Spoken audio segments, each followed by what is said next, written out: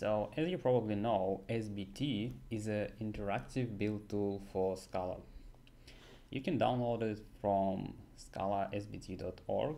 Just go to the download section and download SBT zip file or TGZ file, just doesn't matter. Just download it and extract the contents and then add the SBT executable to your path. I already did that and I already created a new empty directory and I'm just gonna start SBT in this directory. It starts almost immediately and if you start it the first time it will download lots of packages because everything that comes with this distribution package is basically the launcher and it will have to download the latest version of SBT and at the moment it is 0.13.11 if I remember correctly. So okay, SBT is a interactive build tool and you can type commands here. For example, you can take a look at the name of the project and SBT guessed the name of the project because it looked at the directory name and we created this, we initialized it in a directory called SBT tutorial. So SBT decided that SBT tutorial is the name of the project. We can also inspect other settings, for example, Scala version. And by the way, tab completion works. We can inspect the version of our project or organization name. We can also change them if we use the set command. For example, if we don't like this organization name, which is uh, pretty reasonable, we can say applied, applied Scala tutorials SBT and then just press enter. And this setting will be applied and then we can do the same thing with the Scala version. And let's specify Scala version to be to 11.7 which is the latest version at the moment. And for example let's just specify our project version as 1.0 snapshot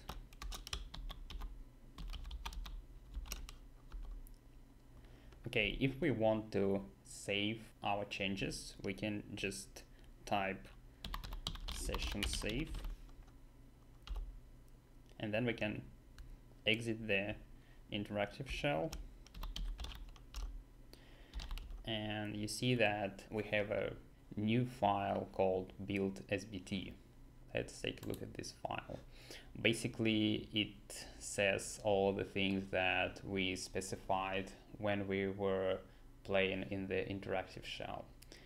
And let's assume that we want to create a new file.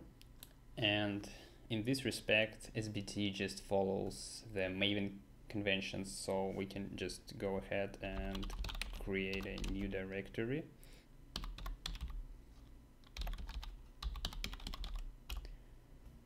And then we can create a new file inside this directory called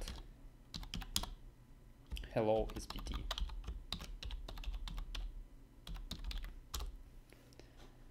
Let's open this file in the editor and type something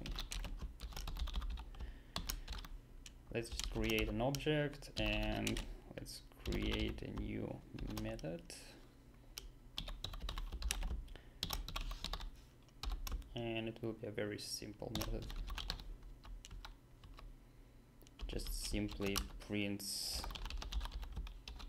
the greeting that's all and then we can start SBT again and let's try to compile the project. Okay, it's compiled and then we can run it.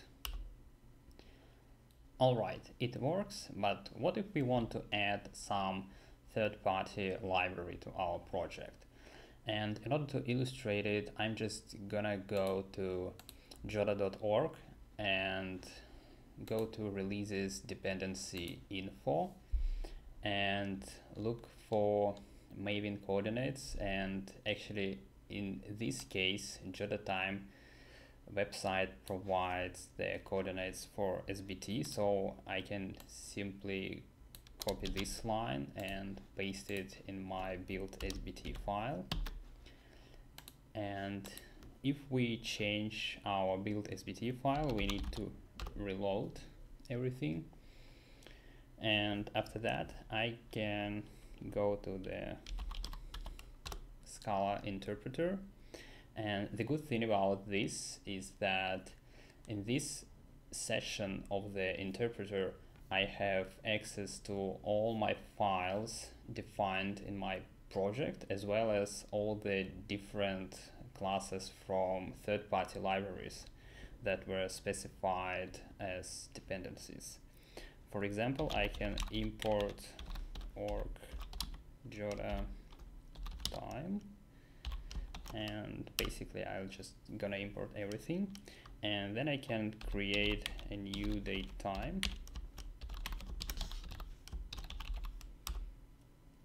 And you see that it was created but there were several warnings and that's very good because I want to illustrate how to add another library. So basically in order to get rid of these warnings I can just go ahead and add another library called Joda convert to my project. And here I can simply use plus plus equals instead of plus equals.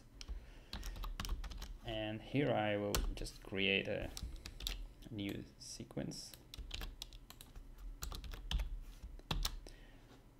And then again I can with the Scala interpreter, reload the project, and then let's go to the interpreter again, just import time and create date time, and you see that uh, the variants are gone. So everything is great. Okay, and the last thing that I wanted to show you is the ability of SBT to watch for file changes. So for example, now we are in the SBT interactive shell and I can say, I can use this uh, funny character and then say compile. And it will say that it's waiting for source changes. And then I can just put it here. So you will see what's happening and then just open my text editor and I can start changing the file. For instance, I can say, hello, my dear SBT. And when I press save, it will be recompiled. And then if I delete it again, it will be recompiled again. As you can see, SBT is actually pretty simple. So you have no reason not to use it with your Scala projects. If you want to learn more about SBT, you can go to my website appliedscala.com or you can go to Leanpub and check out my book called Modern Web Development with Scala. And both links will be in the description for this video.